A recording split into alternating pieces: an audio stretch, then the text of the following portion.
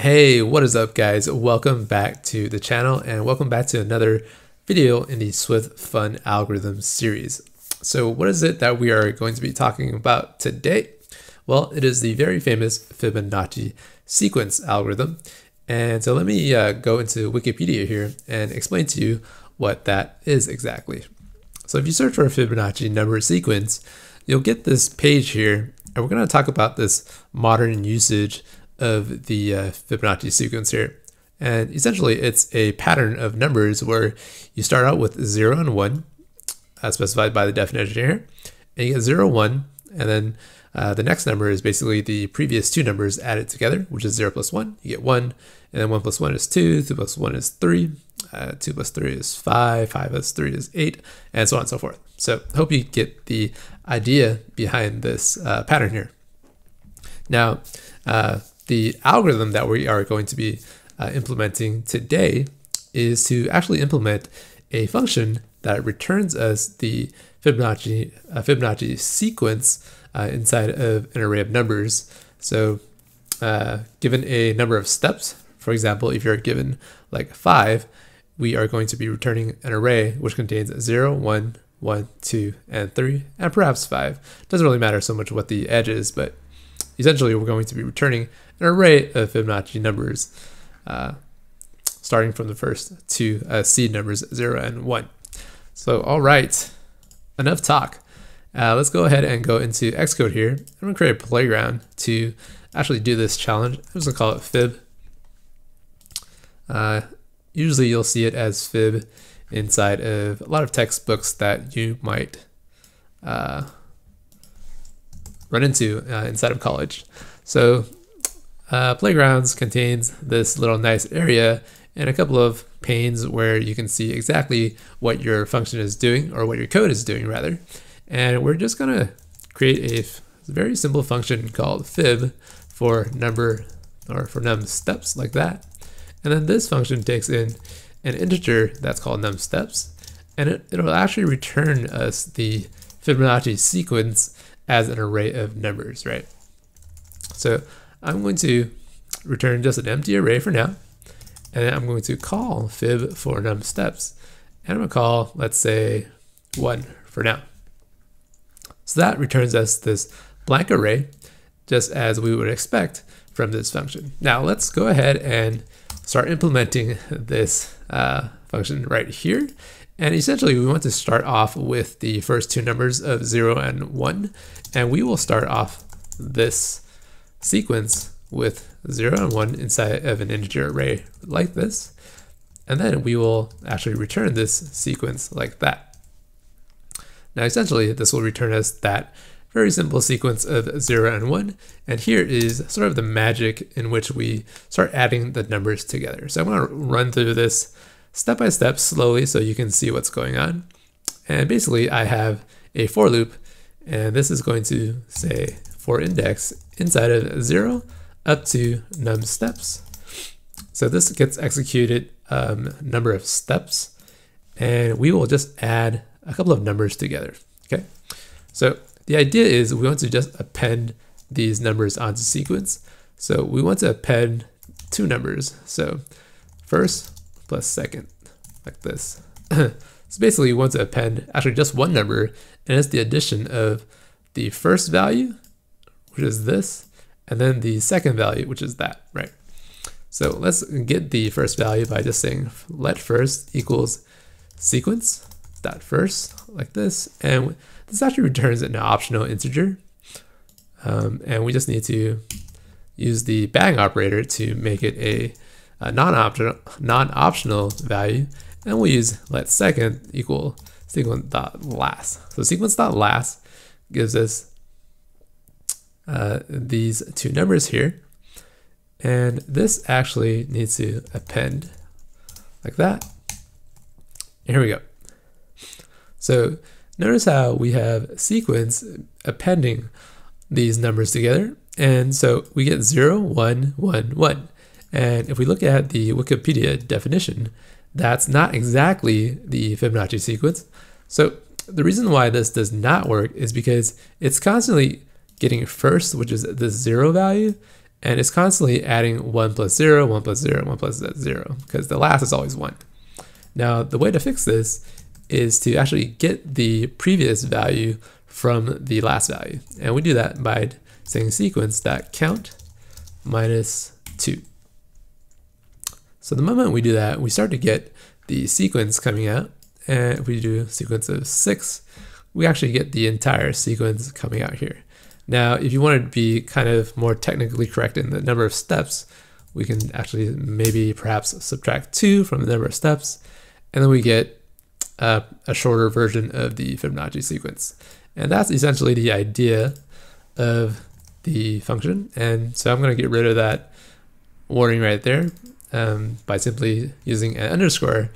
And this is just to say we don't need that index variable and get rid of that warning for us. So there we go. That is this is one way of doing the Fibonacci uh, sequence, and you actually have to worry about a couple of things here. So if you are trying to do a Fibonacci sequence number uh, for number of steps two, you get this 0, 1, 1.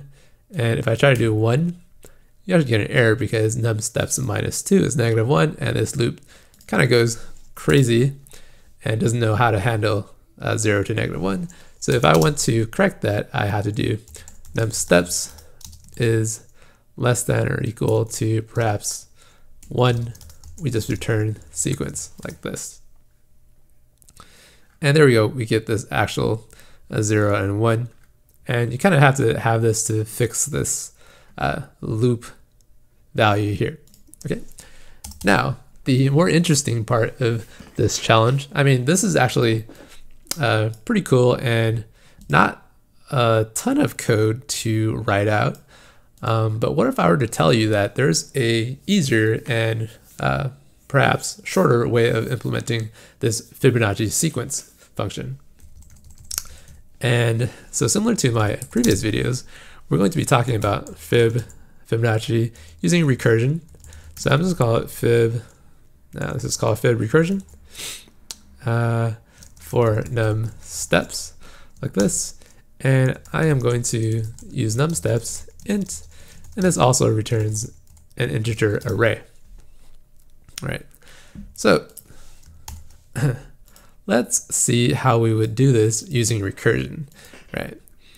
Essentially, the idea is I want to call fib recursion with num steps, just like what we did earlier. And we want to return an array, right? So I'm just going to turn, return an empty array for here.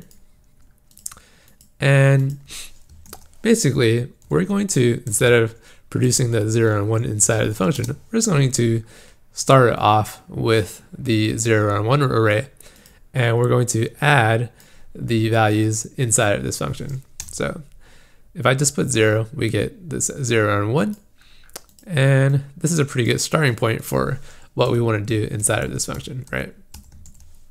Now, the only slight difference um, that I'm going to kind of add to this function is I actually want to uh, have two more parameters for this, this recursive function. And that is this first integer and then this second integer like this. Basically, this function will take in the number of steps and the first value and second value. So if I redo this right here, I'll get num steps, which will just be one, and first will be zero, and second will be one basically th these are the two seed values, 0 and 1, that we use up here. And we are going to use those values to implement a recursive function for the Fibonacci sequence. And the idea is I just want to simply return the array of first plus second like that. And then we get, what do we get here? We get 0, 1, 1. So that's looking pretty good. For example, the true sequence looks like this right here. So it's 0, 1, and if I change it to 5, we get 0, 1, 1, 2, 3, 5. So it's pretty good. Now, the question is what do we want to do inside of this function to make it actually return this value or this sequence right here. So if I change it to 5, I still have 0, 1, 1. And if I do this right here, so if number of steps is let's say perhaps equal equals zero, we'll just return an empty array. And then, so here is the kind of cool part of this recursion function. So I'm just going to call this recursive function with num steps minus one. So every time I recurse or perform the, re perform the recursion, I take the steps down by one. And so what is the first and second value in this case? Basically, the first, the new first value will be the second value, and then the second value will be first plus second. So basically the same thing as this right here. You, you see that this is actually coming out as the Fibonacci sequence like what we had in the first implementation of the function. And if I bring this to perhaps 9, we'll get the same thing. So we get exactly the same thing here, right? So that's pretty cool. And this is the complete implementation of the Fibonacci recursive function here. And the tricky part is uh, how do you know or how can you easily tell what's going on inside of this function? So if I just print out first and second, we look at the console down here. So if you click on this little tab right here, you get this console. And you get 0, 1, 1, 1, 1, 2, 2, 3, and 3, 5. So basically it's just adding these numbers together and recursing on itself with those two values and it just adds, adds, adds. And basically, whenever you perform an array add on another array, it just concatenates those values together into one new array. And that's how the addition of arrays and how they kind of work together. Okay. And I think that's pretty much it. Um, you notice how we've eliminated perhaps 10 lines of code and basically kind of uh, made it a little bit more concise and it kind of contains maybe four lines of code. I guess this can go on its own line, but essentially the recursion is a little bit simpler and uh, perhaps a little cleaner is how I would describe it.